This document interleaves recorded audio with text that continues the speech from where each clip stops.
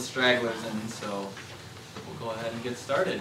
I, before, before I really do through this whole presentation, I timed this last night and it goes a little over an hour and a half, so I wanted to ask, is there anybody in particular that's really in a time crunch and has to be out of here like right at 11.30? And be honest, if you do, I can try and speed through this a little bit. Okay, okay. Um, and so we'll kind of pace this. Like I was mentioning before, there are a bunch of handouts right there on the other side of the hallway there, off to your right. So during the break, we'll take a break about halfway through, and then you're welcome to pick those up. Just kind of has some summary points. Because I'm going to throw a lot of new information at you that you've probably never heard before, or maybe just heard a little bit. Um, but my name is Chris Sovey. I am a physical therapist here at Mindful Movement. I'm also a registered nurse, and I think between those two, I've had a really broad diversity looking at the medical spectrum and looking how this can apply to whole body healing. It's, a, it's definitely a big interest of mine to look into how we can heal the whole person starting from the ground up. And I think that's one of the things that we do here at Mindful Movement. And of course, it's more from a muscular and movement perspective, but I think this, this lesson ties in well. I wanted to start also by saying that this is not a medical presentation. So even though several of you may be suffering from some type of disorder, if that's what brought you here today, it's going to be more of a lifestyle-based presentation. That being said, a lot of these things can apply to the things that you may be suffering with. Um, I have a couple notes here that I just want to go over real quick. Does anybody have a nut allergy? In here, we're going to do a little mindful eating exercise later, so okay. I just wanted to make sure. um, and then if we could, I'd like to save most questions for the end or during a break. If you have a specific medically based question and you want to just kind of discuss it with me, uh, we, could, we could chat about that as well after the presentation. If you have a burning, dying question, then go ahead and raise your hand. But otherwise, I'd like to try and leave most of the questions for the end if we could. Uh, I'd, I'd, also just like to say I'm really grateful for this job and every day that I come in here. Uh, I just couldn't have a better staff, people to work with every day. And so I just want to thank you guys for helping to put this together. I know I definitely could have done it without you. Really, for me, this, this ties back probably about seven or eight years ago when I started looking into uh, my own health journey because I was dealing with a lot of health problems at that time. During that time, I was going through things like major depression, uh, generalized anxiety disorder, a lot of problems with my gut. And I was really searching for answers. And I uh, first turned to Western medicine to try and find some of those. And the more I got into it, the more I wasn't finding the answers that I was looking for.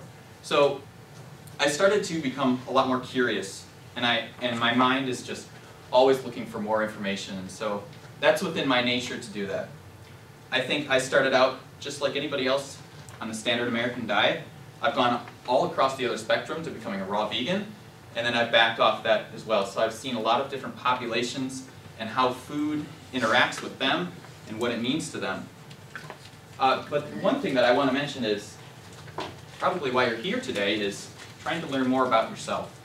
And I think that's what we do at Mindful Movement. And I really have to sell this to you almost like a sales pitch because I think that in order for you to internalize some of these concepts, we have to understand some of the benefits of paying attention to what's going on in your gut. So one of the we can look at these individually and kind of break them down. Um, no matter what you do, it doesn't matter if you're an Olympic athlete, it doesn't matter if you have a desk job, it doesn't matter. This kind of thing can apply to you because the food that you eat, that you take into your body, is going to make up the building blocks for everything that you do. So if you care about this and you take the time to listen to your own body, you can have improved productivity. And as we'll see, the gut makes up over 80% of our immune system. So with that, you can have a stronger immune system. You can avoid or reduce the cost of uh, medical procedures sometimes, and you can decrease pain and suffering because as we'll see, this is a very systemic, systemic approach to this. And you can take control of your destiny and health. You really have a lot more power in yourself than you realize to make changes. And if you're an athlete, can improve your athletic performance. I want to focus on three major take-home points. These are I'm, I put these on the, on the summary sheet, but I just want to go over these. These are the big ones here. The gut is one of the largest components of the immune system. And it makes up more than 80% of it, actually. There are other systems that are involved in the immune system as well, but this is the first one to interface with our external environment, so everything that comes into our body, just kind of like the respiratory system in a way. The rise of several chronic diseases is at least partially, and in a lot of times majorly, due to gut pathology. Food was never really meant to be convenient, and convenience comes with consequences. So we have to understand that, that very basic fundamental thing. And that's not to say that we can't use technology to uh, better improve our health, but we have to use it responsibly. So it really dates back to philosophers like Hippocrates who said that all disease begins in the gut. And he was also a physician as well. He said, let, let medicine be thy food, and food be thy medicine. And I think that our system now, our medical system, is fantastic at, at specific things. And we have a great emergency care system. And, and when, we, when we look at chronic disease, though, we have a long ways to go there. And I think we've become reactive instead of proactive in a lot of our approaches.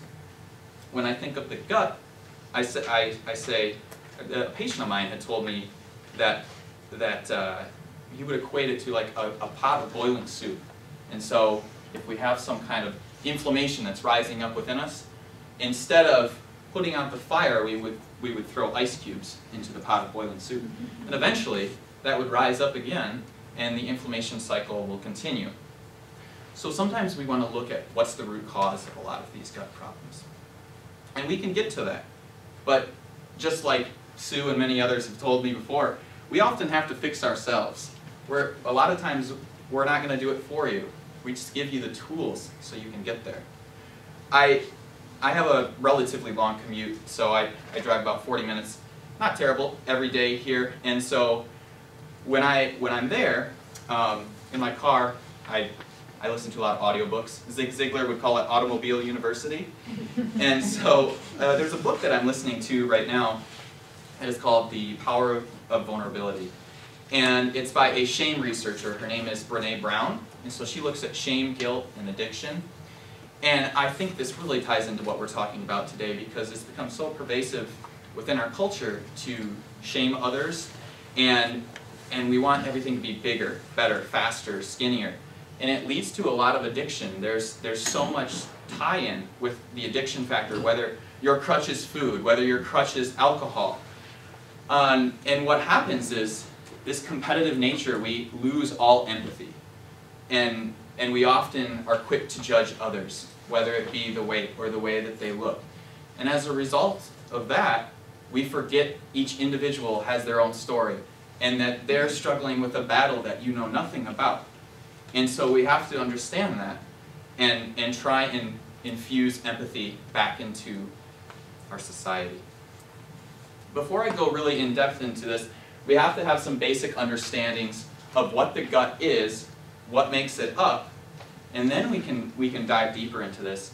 I'm not going to give you an advanced anatomy lecture here. This is just a very basic understanding. I think the gut breaks down into two components. It would be called the macroanatomy, so the big parts of the gut, and then the microanatomy, the smaller structures within the gut that help us to assimilate nutrients, to bring those into our gut. And then that's what helps us to get everything into our body that we need to and use it appropriately. Backing up even further, um, when we are when we're looking at, at embryology here, so just very basic, I promise this won't get too in depth, but as we're dividing in, in, in ourselves in our development, we develop an inside layer. Um, this is this is you at some point, and the inside layer here is called your mesoderm. And as it continues to divide, it makes this hollow tube all the way from your mouth down to your anus. And so we have this hollow tube throughout our body, and that, that stays with us throughout our entire development. So really, in a sense, the gut is an open system to the external environment.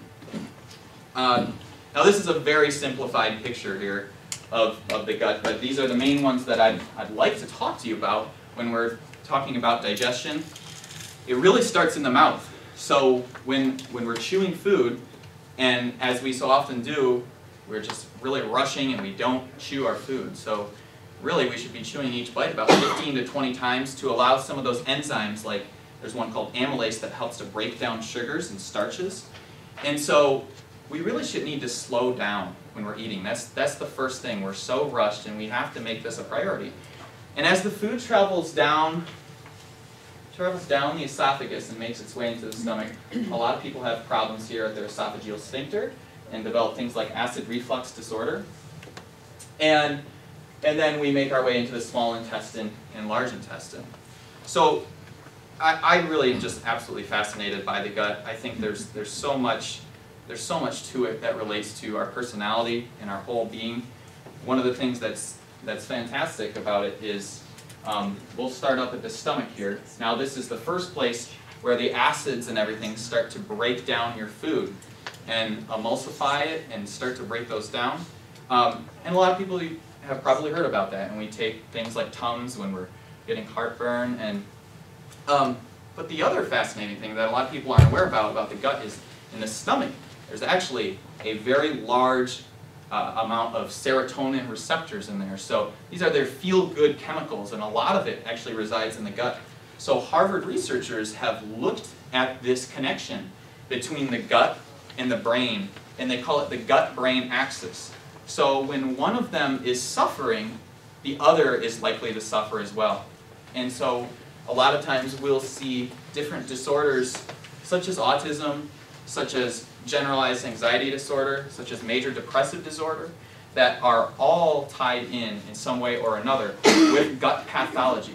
There's definitely a correlation between the two. It doesn't mean that one's always causing the other, but there's a big correlation. So when you feel butterflies in your stomach, you have that sense. You feel that connection between your gut and your brain.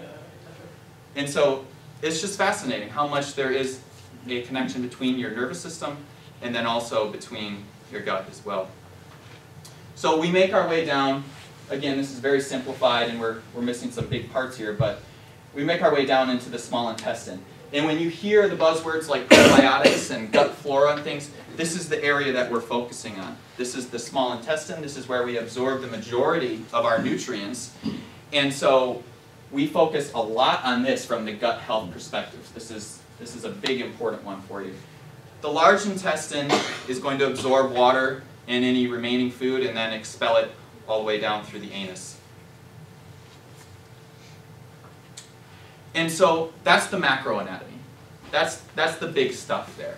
And when we, we get down to a smaller level, we're looking at the microanatomy. So we've taken our little hovercraft and we've gone inside the body now and we're, we're in the small intestine. Okay. And, and what we have up here are these little finger-like projections called the villi. And these villi, it's, it's actually a genius design. These little finger-like projections, what they do is they increase the surface area so they make your gut a lot more efficient at absorbing nutrients. And, and what happens with a lot of things like celiac disease is these become significantly damaged and they're not able to do their job. They either grow, colon cancer, they will grow, they'll have significant cell growth, and that also can impair it too, so there has to be a fine balance. So as food makes its way into these little areas, when we come down, they're called crypts in these little valleys here. And in the crypts, a lot they interface with your gut flora, so the bacteria that's inside your gut. And so it makes its way in there, and the bacteria and the different areas of these are going to absorb your food when it's working correctly. The the big thing is they, they're arranged in a way, I'll show you on the next slide here. Um, when we get damage to the gut wall, this is, so this is kind of zoomed out. Ignore all this stuff right here. We're not looking at any of that. But there's those little finger-like projections, okay? Your food's coming in here. And this is a big, it's like a, almost like a big rectangle. They call them epithelial cells. And so what these do is they're stacked right next to each other, all along your gut wall. And they form these areas in between them called tight junctions. So they're like, if you thought of a wall, it would be like an old wall would be like the spackle in between the wall that, that prevents things from getting in there. And so if we have a lot of gut pathology, sometimes, sometimes these tight junctions are damaged and we create small areas where things can go through. And this is what we see in things like celiac disease and other things like that. Um, and a lot of things that we're doing in our environment, in our culture, are damaging this connection. And it's very dangerous because what it ends up doing is it creates a very unhealthy environment for your gut to do what it needs to do. So on the left, we have some of the, the healthy villi again. Okay? On the right, I know it's kind of blurry, but you can see how it's like all kind of grassy and worn down. This would be someone who has a section of um, someone who has celiac disease. And so there's a lot of causes for that. It's not just gluten and things. I think of, I use the analogy of a castle wall with the gut.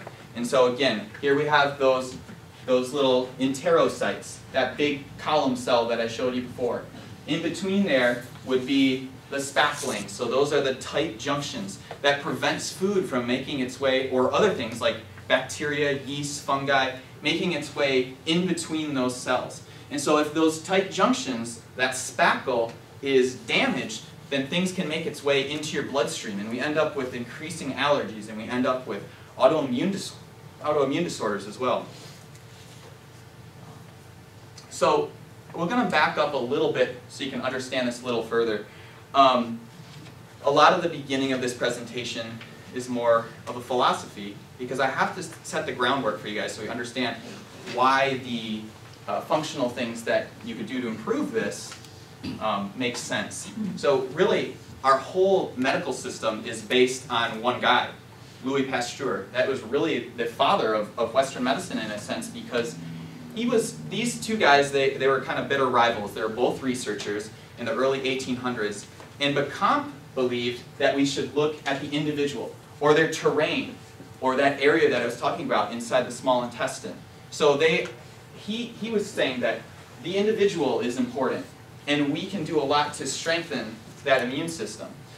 Instead, what we've adopted is Louis Pasteur's version, and he's actually famous for a lot of things, vaccination, he's famous for pasteurization, of course, and hence the name, fermentation, and a lot of immunology.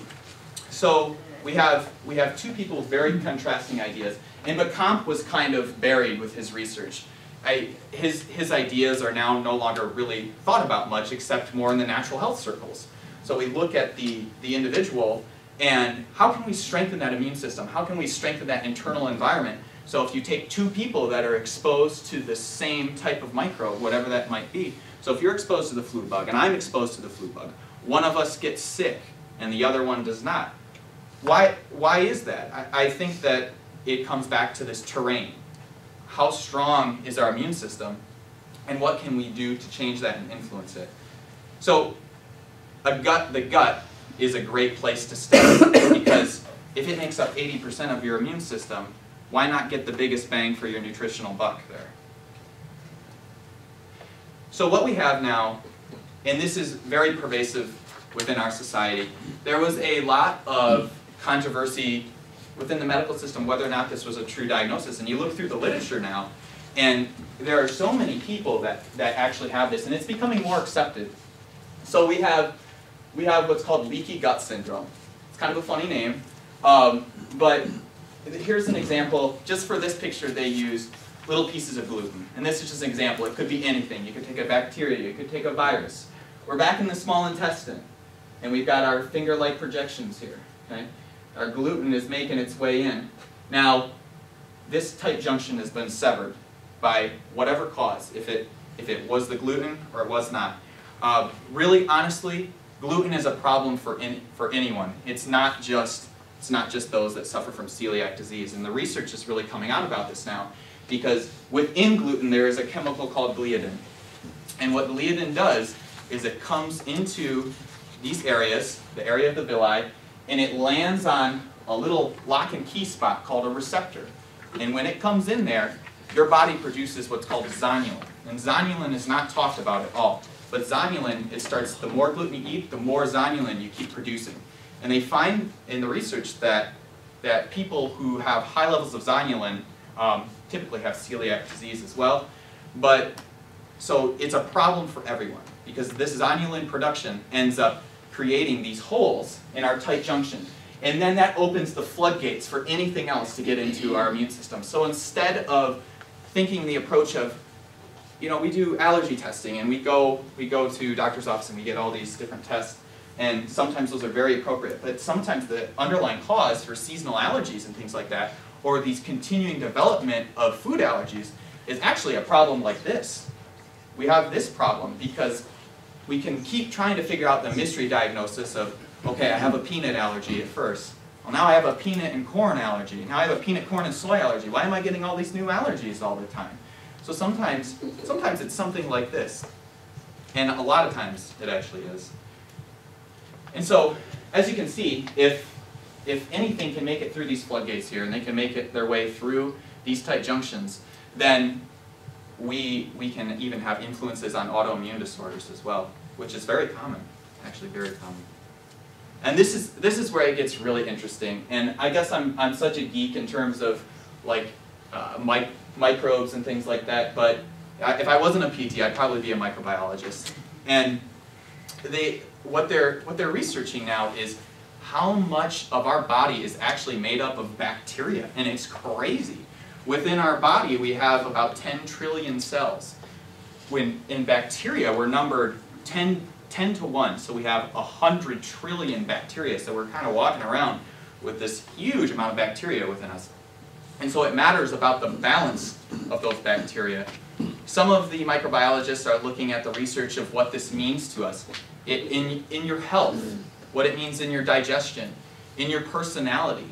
That there have been there have been a lot of researchers that have looked at how these bacteria actually talk to one another. And so if you get you get a flu bug or something like that, at first these these bacteria or these viruses are able to communicate with each other in a way that they know they can overpower your immune system. So they send signals to each other. So if, if I had 10 cells of this virus. And then later, they're like, oh, there's no way that we can take over this person's immune system. Then they have 100 cells. Then they can send signals to each other, and they say, okay, we're going to attack. And I'm obviously simplifying this quite a bit. It's a lot more complicated than that, but I'm just trying to paint a picture here. I don't know, if, have you guys ever seen TED.com? Have you been on that, that website? Really fascinating. If you want to learn a lot about a lot of different things, go on to TED.com. They have lectures about just about anything uh, people in the top of their fields. And there was a lady on there named Bonnie Bassler, and she talked, she said, how bacteria talk. And I was so captivated by this, I think it was only about 14 or 15 minutes long. But we have these, these communities, these communities of microorganisms within our bodies that inhabit us. And we share these with each other. So you share these bacteria with your, your spouse, with your dog, you know, and, and so all these work, there's about 10,000 different species that we're currently exposed to on a regular basis. And we get so out of balance with these because of the things that we're putting in our, in our body, um, within our environment. And so if you think about this, this actually goes all the way from your mouth down to your anus. And it makes, if you're a female, it, works, it makes, it makes its way into your vagina as well. So you're coated with all this bacteria. So if you have, if you have an imbalance in this, then you'll have an imbalance everywhere in your body, and you're prone to things like yeast infections. Uh, so what happens is, we have, if we have an imbalance, then the other bacteria that come in can take over our immune system much easier. And so what's our current solution? I mean, in America, it's kind of go big or go home, right? You got a little heartburn, you're gonna you're gonna down the tums and keep downing the tums. So if we go back to the stomach picture that I showed you before, and within our stomach we have hydrochloric acid, which is extremely acidic, and it has a pH of one to two, and some people up to four to five. So let's say you get an onset of heartburn, and you take a couple tums, and so what would that do to your pH if you took some Tums. Mm -hmm. Absolutely. And what do you think will happen if we continue to take this? What happens is we have, we are constantly on that basic side. So the bacteria that's normally in your gut in a, per, in a healthy gut is going to um, be overrun by some of these other organisms that like this basic pH. They, they crave that basic pH. They hate the acidic pH. They don't want to be there. They'll get eaten up real quick by your stomach and if it's working properly. So we want to have that, that fine balance. And we want to have a more acidic gut. And I know that sounds controversial. And I know that sounds completely different than what you've heard, especially when you look at things like acid reflux disorder. And you say, well, we don't want, we don't want more acid. We want less acid. And so we take things like proton pump inhibitors to lessen that effect. And some people have completely an anatomical defect, so in that case it's kind of hard and you do have to do something like that. But I've seen a lot of people who have completely reversed um, or significantly reduced an onset of uh, GERD or acid reflux disorder through a, primarily a plant-based diet. And, and it's across the board that way. If you look at any of the research, there's so much of it that shows that it can decrease inflammatory markers for just about everything, autoimmune disorders as well. And, and so it's really about, instead of just saying, we go back to Béchamp and Pasteur, it's not, it's not do we get it, it's do we express it. So if I'm a healthcare provider and I'm in the hospital, I'm exposed to things like antibiotic resistant uh, organisms such as MRSA on a regular basis. But that doesn't mean if I get a cut, I'm going to have this big gaping necrotic wound that's just going to, you know, keep eating away at, at me. So that's, that is, if we have the right internal environment, we can prevent these things from expressing themselves. By the way, if you do have GERD, or you do have acid reflux disorder, something that you might consider is a lot of fresh pressed vegetable juices. Ginger's a really good one. Herbs are really powerful.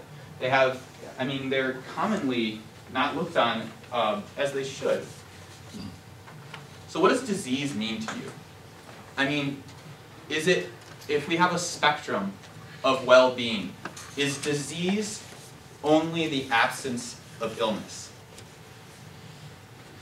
And, and I think you can be so, so far on that, on that spectrum. And a rough translation of disease is lack of ease. And, and through this kind of approach, we actually, there's a developing field called epigenetics. So if you say to your healthcare provider, my family has heart disease, so I'm bound to get heart disease. My family has cancer, I'm bound to get cancer. Some, some cases that's true. There's some things that we just can't change. But in a lot of cases we can. And this, this growing field of epigenetics looks at uh, the expression of these diseases. So it's like a light switch. If I, if I want to turn on a gene that's going to cause a problem, that's what they're, that's, that can be done through lifestyle. This can work for or against you, depending on what you're eating, your exercise, things like that. So I don't necessarily have to get heart disease just because my parents had heart disease. There's a huge lifestyle factor and it's, it's massively underplayed. Again, there are obviously some exceptions to that. So Bruce Lipton, if you want to learn more about that, this guy is, is phenomenal in that field and he'll tell you a lot about the field of epigenetics and you can get a better understanding of that. I won't go too in depth into it right now. Really what we're talking about is inflammation. So root, it's really the root cause of nearly all chronic disease in one way or another. So even if you don't have a clinical diagnosis of some type of chronic disease, we have this constant low-grade inflammation from an assault on the gut. And, and, that, and that's from a variety of factors, but mostly through diet. And it plays an enormous role in things such as inflammatory bowel disorder, uh, IBS, Crohn's. Crohn's, even though it's not formally recognized as an inflammatory disorder, we still have these, these low-grade inflammation going on in our body at all times. And so in, in America, I mean, we have, we have in, in the medical world, we, we classify people in two different types of shape. The apple shape, so kind of more, um, more weight above the waist, and then we have the pear shape, which is more weight below the waist. And a lot of this really comes down to inflammation and where this, infl I see a lot of people, after you get your hands on enough bodies, you can kind of, I mean, as a physical therapist, you can, you can feel, oh man, that came out wrong, didn't it?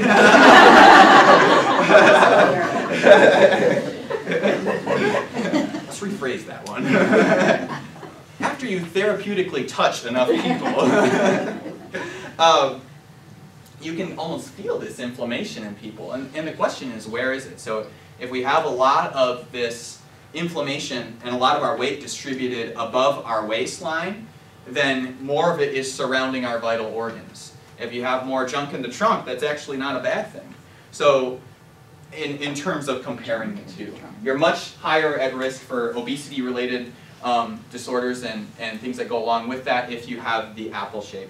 And you can take this, if you want to write this down, if you want to figure out if you're an apple shape or a pear shape, you take your waist, so you would come around the waist, and then you divide it, you take a measurement there, and then you would divide a measurement at your hips. And then you take that, that ratio, so you'll get a decimal. If it's greater than 0.8 for women, or greater than 1.0 for men, then you're an apple shape. And that puts you in, in that category of slightly more risk there. So Could you really, repeat those numbers again? yeah, absolutely. For, for women, it would be greater than 0.8. For men, it would be greater than oh. 1.0. Maybe by the waist measurement, but Yep, so weight, waist over hip. Mm-hmm. Is your waist your belly button? Yes. Yep, Thank you. right at the level of the, the belly button there. Thank you. Really, we need to go back to empathy to begin. So to really get into this a little bit, we have to look at um, things like self-love meditations and, and really starting to understand ourselves a little better and appreciate ourselves a little better. So we had the gut-brain axis. We talked about that a little bit, how your mind is so closely connected. You can directly um, approach it from a gut perspective, but you can also heal the mind at the same time. The two work together. So again, it can work for or against you. Uh, self-love meditations are a great way to do that. It, it sounds corny, but if, if, you, if you spend time in front of a mirror, or if you're just laying down and you close your eyes, and you just express gratitude for two things each day, um, and you breathe in and out three breath cycles of what your definition is of compassion, what your definition is of gratitude, forgiveness, and love, and you flood yourself with those, it'll help you along the healing process. I originally kind of planned this presentation almost as strictly like a how-to kind of thing, but I, I feel like how-tos really don't work. I, I think they only partially work. We're, we're missing a lot there. If, if how-tos worked, so many of us wouldn't be still searching for answers. And, and so we have to look within ourselves for answers. So where do we start? I, I originally had this picture on here of this like really tasty looking burger, and my fiance Danielle, she's like, that makes me really hungry. So I had to go back and find the nastiest looking burger I could find. So I typed in Mc, gross McDonald's burger at Google and I came up with that. I hope that makes none of you hungry. it does, we've got some work to do here. We've become a real culture of convenience. And, and that's, that's really at the, and, and that convenience comes with consequences. And we don't have our priorities in the right places. So we can save up all kinds of money to buy the next big screen TV to keep up with the Joneses, or we can put some money into a juicer or a dehydrator or some of these things that can nourish our bodies and make us more productive, and then you can afford that big screen TV. I mean, that's a win-win there. It just takes a little more effort. But we have so many unanswered questions of how this environment affects us on the deepest levels from what we're putting in our body. I really hate to use the word dangers, but honestly, there are a lot of dangers within processed foods. I want to, I got a quick little story here. Uh, my parents' house, originally about 36 years ago, when they were, um, when it was being built, this Pringles can was locked up within the drywall there. And, and so I, we found this later because they were doing a remodeling on their house. So this, these Pringles are, are 36 years old. It says mm. 59 cents. I'll, I'll pass it around. Please don't touch the Pringles. I want to preserve this for future shock value. But if you look at them, they look exactly like Pringles from 36 years ago. and so we run into a lot of issues, and it's worse today. I mean, we have so much more in our food than we did back then. If you look at the ingredients labels, it doesn't look that awful. It really doesn't, but there's just a few things in there, like the hydrogenated vegetable oils. So, we have very commercialized food production. And diets don't work. They don't work. As soon as you get done with your diet, you're eventually going to go back to how you were before. Whether it's, it's just a matter of time. And that's, that's well accepted um, within, within the community of, of uh, literature. So really what I'm, what I'm trying to preach to you is not a diet, it's a lifestyle. And, and what, what it really comes down to is, in the last 200 years, we've had more changes to our food system than we have in the entire human history. And this really goes as far back as 1750 in England. How were we going to deal with the rising population crisis? And, and, and now it's even considered more of a crisis. So we turn to different things like genetically modified foods. And this whole system has become so mechanized and, and so commercialized that everything is pro-inflammatory. And we go back to an inflammation. And this is really where it starts, within the way that our food is grown. And it's not the answer to, I argue that it's not the answer to the rising population. We have other means that we can feed the growing, I mean, there are things like high performance agriculture. And these organic standards, using high performance agriculture, has outperformed things like genetically modified foods, despite their claims that the whole reason they're doing it is so they can grow more crops. And so what, what do we do? Our, our government is, is subsidizing massive amounts of money towards the, the growth of corn, soy, and canola. It makes up greater than 94% of our land mass planted in the United States. And these two of these happen to be, the corn and soy happen to be two of the most common allergens. Um, and more so as time goes on. We're seeing more and more corn, soy, corn and soy um, allergies. Have you, have you guys ever seen uh, Food Inc.? You ever watched that documentary? Really good one. I, I highly recommend watching that one. It, it gets into how it's such a big business now, and it's it's not really about feeding the masses um, in a way that's going to be beneficial to anyone except those that are producing these and lining their pocketbooks with that. So uh, it's highly inflammatory, and and these two, corn and soy, make up almost everything you see on the supermarket shelf. It's really just a cornucopia of illusion. It's a clever rearrangement of corn and soy, is what it is. And it look when you walk into a supermarket and you go down the aisles, it looks like you have so many choices. You're like, wow, I have this brand and this brand and this brand and this. But really, you're just eating corn and soy, and it's just been processed in a different way. And then we have things like this.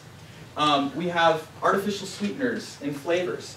And, and when you look on the back of a label and you see something that says natural flavors, what does that mean? What does that mean? It means nothing.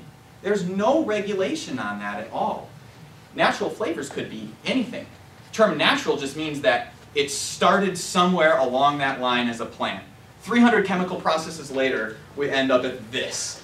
And, and so you can't even find out what those things are unless you have a doctor's signed note that says, I have a medical reason, I need to have you disclose this information to me if you call up a company. I'm a total geek, I do this stuff. I call, I call companies and I ask them those kind of things. Because I'm curious, I'm a curious mind, I want to know these things. And so the people that design artificial sweeteners they're, they're geniuses. I mean, they, these guys, they know how to get inside your head. And that's their job. And they constantly refine that so it becomes addictive. More addictive than many other drugs in a lot of cases. And so our natural biology, we can't, we can't resist that. It's, it's very difficult to resist this. And we become quickly addicted to these foods and all these different artificial sweeteners. Uh, the biggest company that produces these is called Givaudan. And there's a 60 minute segment So it's 14 minutes of that 60 minute segment. Um, and it's called Tweaking Tastes and Creating Cravings. And it's a 60 minutes thing. If you, if you just go on YouTube and you look that up, it's really fun to watch because they, the, uh, the newscaster, he, he just bashes on them the whole time. And, and they're in denial about the fact that this is a huge part of the obesity epidemic that we're dealing with today. Was Um, tweaking taste. Tweaking tastes And and creating cravings. Do you guys see this in the in the news recently? That they, they found this uh, in Subway bread. They had this this yoga mat chemical in there. I love to throw these little things in because I just think they're so um, so amazing. Azido kai azido. There we go. and, and it's in more than 500 different foods. And so I love this stuff because what the, what the food companies do is they, or places like Subway, they're like, we now don't have this chemical in here. What do they put back instead? You take something out, you got to replace it with something. This, this, this chemical is actually a, like a foaming agent. So it makes the, the bread more kind of like fluffy and foamy and have that really nice kind of fluffy look to it. And it's actually in a lot more foods than just Subway bread. Um, and I think that's the irony behind it because you look at, I, I was walking into Meyer the other day and I saw this thing that they had this big Kraft single and they were like, now with no preservatives. And, and you look at it and they've replaced it with some like really gnarly chemical. But they, they make it look all, all just like, oh, it's so nice. And we use bright color palettes. So um, it's okay. It's okay. You really want to know what's the truth about the food that you're eating. I, I think it's the middle point between two extremes. Um, we have to we have to look at, at what some of the, the news sources are saying and what all these biotechnology companies are saying to us, and then maybe what you know we don't necessarily have to eat 100% everything from our organic garden. I mean that would be nice in an ideal world, but if we're somewhere in between that, you'll usually find the truth, and I think that's true of just about everything.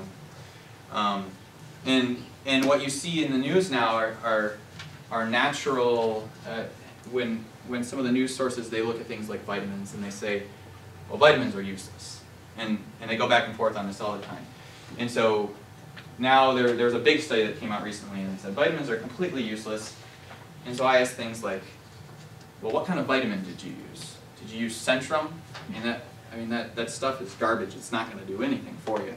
Um, and and they completely try and discredit that when I could throw 20 other studies at you that, that would say the complete opposite. So we have to really be careful of saying things like fish oil has no effect on cardiovascular health. Because it's pretty well established that it does. You can't just take that one study that they blow up to epic proportions and they say it has no effect. How many of you guys have heard of genetically modified foods? Is just about everybody aware? Okay. um, I will I will kind of speed through these then, so we have time to get. But I, I just want to I want to highlight a couple things here. Um, genetically modified foods are the forceful insertion of genetic material into another species, and this is done for various reasons, and most of them are marketing reasons. But they say things like, "We'll protect your crops from drought. We'll increase the yield of your crops." We'll, we'll feed vitamin A deficiency in this rice because we're going to stick this gene in there. And the thing is, is that it, this doesn't occur in nature, ever. And, we, and some people argue that genetic modification, we've been doing it for thousands of years. We have not been doing this for thousands of years. It's not the same thing as cross-hybridization. It's, we are deliberately forcing genes into some species, and there's massive collateral damage and we don't know the true effects of that yet. So I don't want it to be confused with hybrid breeding. And so how are they made? This is this is what's really crazy is you have these they use these things called gene guns and it's literally like a shotgun and they take this genetic material and they shoot it forcefully into whatever they're trying to inject to. They've, they've done some really crazy stuff. I, I, I've done, I do a lot of talks on, on things that, that people don't normally like to talk about. I've talked about teenage depression. I've talked a lot about um, genetically modified foods too. I have this other picture of there in, in that presentation of this, this uh, pig that has this glowing nose because they took uh, glowing genes from a fish and they put it in there. Why do they do this stuff? Because they can. And, and it, we need to know how far it's going to go. So there are other methods that they use too. They use viruses, they use bacteria um, to put these genes into, and it's so, it's everywhere. You can't get away from it. And right now, the first genetically modified animal is currently being pending approval by the FDA. So on the top here, we have a genetically modified salmon at eight, 18 months, same, a regular salmon at 18 months. Some people think that, that GMO stands for God move over. And, and I, I, can, I can see that, I mean, especially when we get into stuff like this. You know, where do we stop this? It, uh, and, and I say this because there, there's a lot of concerns about genetically modified foods. Um, there have been no human clinical trials. There have been, there's been no post-market monitoring, so they don't look at the effects of these. It's impossible to track because it's so deep into our system now. There's no labeling, so even if you wanted to avoid GMOs, you can't entirely. It's going to be there and you're going to eat them. The effects of these things may not be known for many years. And, and then in addition, there's a lot of false claims about these marketing benefits. They say that they have higher crop yields and things. But the data doesn't support that. Their data supports that. You go on to websites like Monsanto.com and they'll tell you, yeah, we're, we're doing great things for the world. Um, but it couldn't be further from the truth. So even though there hasn't been, even though there hasn't been human clinical trials, there's been a lot of animal clinical trials, and they don't, but they won't allow U.S. researchers to do this. That has to be done internationally by third-party researchers outside the U.S. So we have um, things like this guy, they, they did a really long, um, you know, long-term animal feeding trial, and what they found, what the rats were fed, they had a control group where it was fed just normal corn, and then they had another group that was fed a diet of exclusively genetically modified foods, genetically modified corn to be precise. And they found that it had damage to nearly every organ system in the body, and alarmingly fast tumor growth within a very short period of time. This isn't the only study that's shown this. There, there have been many others that have replicated this result as well, but you don't hear about these. And it, it, it causes other things like um, stunted growth. On the right here, we have a much smaller rat. Our, so this would be fed genetically modified um, corn in this study, and then this would be a, a rat fed regular non-GMO corn. And so the, it raises a lot of questions. Things like you look at the fertility rate of women and how it's constantly dropping all the time and versus before, this, this was not, not an issue at all, but now we have, we have fertility clinics on just about every street corner in California. And there's a lot, there's a lot of evidence too that some of these systems are, are uh, being damaged. So I, I'm concerned about our future generations. I'm, I'm concerned about will we reach a point where we cannot produce children anymore. I know it sounds wild, but if you look at the data, it just, it really supports that kind of thing. Here's our villi again. Here's these guys um, that are, uh, on the right, there was a researcher and he fed, GMO potatoes are actually not on the market, don't worry about that one, it was just done in, in labs. Um, but on the right we have significant cell growth and within just 10 days, um, which put these rats at, at risk for colon cancer and many of them developed it. And this research was buried, and, and the companies like Monsanto and DuPont, they completely discredited this researcher, buried him, shamed him, and now you don't hear about it. And we're one of the few countries that has no form of labeling whatsoever. And there are 64 other countries that have some form of mandatory labeling. There's some websites on there. Um, I, I don't think I put them on your sheet, but if you just Google like GMO labeling you'll, you'll find these, you can look at across the world. Um, the European Union has a lot of countries within there that has some form of mandatory labeling. And some, some countries have even banned, outright banned these um, GMO importation and cultivation of these crops. I think we have a double standard. If the Food and Drug Administration is monitoring both of these, then if a new pharmaceutical drug is to be released on the market, it has to undergo extensive testing um, before it's released. Why is this not the case with genetically modified foods? It's, it, it, it really should be. And so Roundup is, is everywhere. This is, this is a pesticide that's used, you use it on your weeds. I mean, it's everywhere now. It's in our, our food, it's in our food, it's in our water. And all the runoff from this, um, Roundup is, is considered to be extremely disruptive to the gut bacteria. Um, number one pesticide sold in the world, made by same company, Monsanto. And what it does is it disrupts that gut bacteria. And it causes an overgrowth of, we, we've disrupted that balance that I talked about earlier. So we no longer have that balance and we allow other organisms to kind of take over. And so if we have an unhealthy digestive system, we have an unhealthy brain. If you guys have ever taken a statistic, statistics course, or even if you haven't, um, you would know that correlation doesn't necessarily prove causation.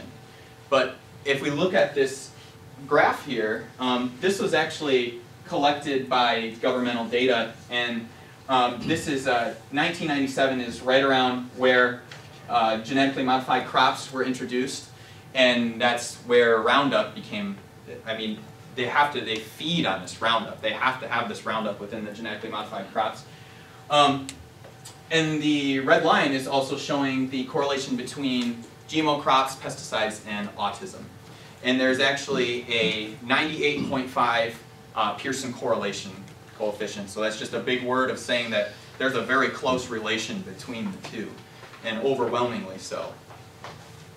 Some studies have said that, that Roundup could plausibly be the most important factor uh, in the observed, observed increase in a number of disease and conditions like obesity and autism over the past two decades. So are GMOs in my food? I mean, absolutely. You're, you're probably eating GMOs three meals a day, every day. And especially if you're eating fast food. I mean, it's, it's, it's in all fast food, it's in greater than 80% of fast food, depending on the source. I think we'll take a quick break after this slide here. Um, the, and so what do we have now? We have the standard American diet. And this is kind of getting into the more, the more functional things that are going to apply to you individually. Um, and what is the standard American diet made of?